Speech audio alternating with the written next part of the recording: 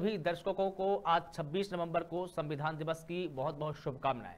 भारतीय इतिहास में 26 नवंबर का दिन बेहद ही खास और महत्वपूर्ण माना जाता है, क्योंकि इसी दिन, यानी कि 26 नवंबर उन्नीस सौ उनचास को भारत का संविधान बनकर तैयार हुआ था।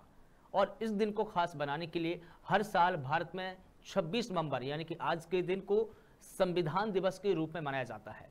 यह दिन हर भारतीयों के लिए बेहद खास और गौरवान्वित महसूस करने वाला दिन है। दरअसल, हमारा संविधान 26 नवंबर उन्नीस सौ उनचास को बनकर तैयार हुआ था, लेकिन इसके बनने के दो महीने बाद, यानी कि 26 जनवरी 1950 को देश में संविधान लागू किया गया था, और इसलिए 26 नवंबर का दिन संविधान दिवस और कानून का दिवस होता है।